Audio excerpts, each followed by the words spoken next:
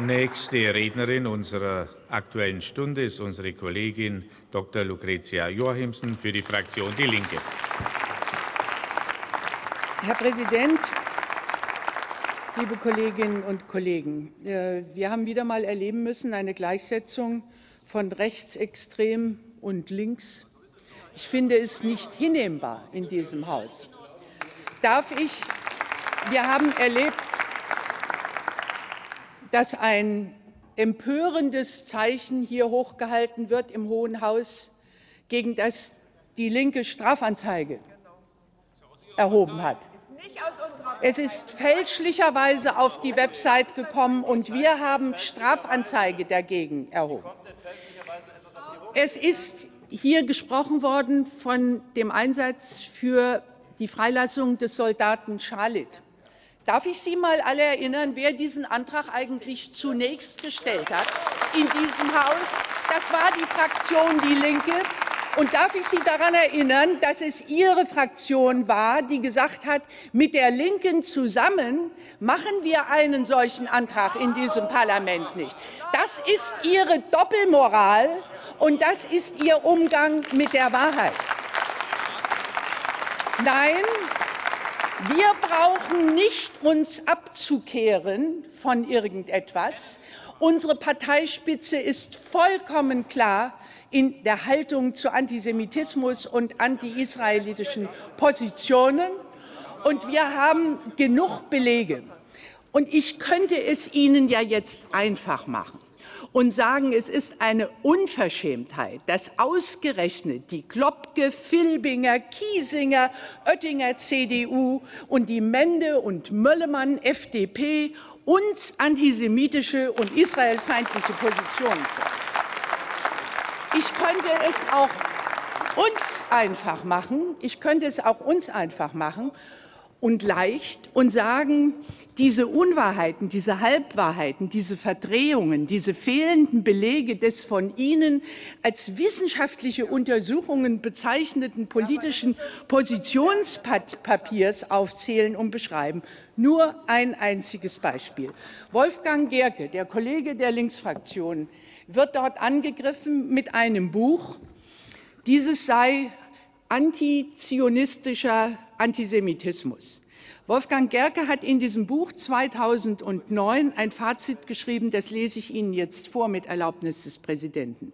Der Holocaust, die Verbrechen des deutschen Faschismus und seiner Helfer, der Mitläufer und Wegseher begründet das besondere, nicht auflösbare Verhältnis Deutschlands zu Israel. Nach dem Holocaust hätte die Linke verstehen müssen, dass der Zionismus mit seinem konkreten Ziel der territorialen Eigenständigkeit eine angemessene Antwort auf das fundamentale Bedürfnis des über Jahrhunderte verfolgten jüdischen Volkes nach Sicherheit war. Ein Beweis für die antisemitische, antizionistische Haltung des Kollegen Gerke, des Autors Gerke und damit der Linksfraktion.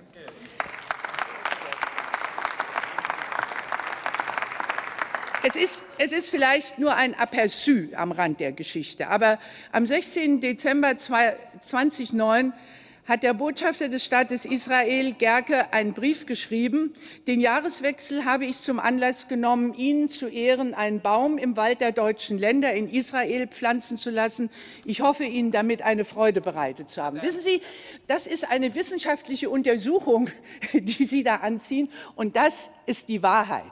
So gehen Sie hier in diesem Parlament mit uns um, nur um Stimmungsmache zu, äh, zu betreiben. Und jetzt sage ich Ihnen etwas anderes. Mir ist das Thema, das große gesellschaftliche Problem Antisemitismus in Deutschland zu bedrängend und zu ernst, um damit mit dem üblichen Politreflex im Parlament umzugehen. Grundsätzlich ist festzuhalten, dass die Linke eine Grundposition vertritt, die bedeutet, gegen jede Form des Antisemitismus in der Gesellschaft vorzugehen. Und außerdem haben wir ein für alle Mal beschlossen, ich zitiere, dass Deutschland wegen der furchtbaren Verbrechen der Deutschen an den Jüdinnen und Juden während des Nationalsozialismus eine besondere Verantwortung gegen Israel und gegen jede Art von Antisemitismus, Rassismus, Unterdrückung und Krieg hat. Diese Verantwortung ist nicht relativierbar. Sie schließt das Bemühen um einen palästinensischen Staat und die Garantie des Existenzrechts Israel ein. Die Linke vertritt diese Positionen nach innen. Boykottaufrufe sind nicht hinnehmbar in unseren Augen. Und wir dulden Antisemiten nicht. Und die Linke vertritt diese Position auch nach außen, indem wir auf Demonstrationen mit Tausenden von Aktionen im parlamentarischen und außerparlamentarischen Gruppen, in Büchern und Vorträgen Gesicht zeigen. Aber es gibt Antisemiten in unserer Gesellschaft, und zwar nicht wenige.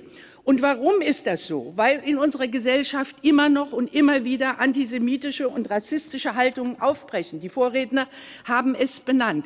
Und das, liebe Kollegen und Kolleginnen, das ist unser gemeinsames Problem. Dagegen müssen wir angehen. Und bitte nicht Stimmungsmache aus parteipolitischem Kalkül aktuell an der Oberfläche mit Pseudowissenschaft, nur um einer Partei den Ruf zu schaden.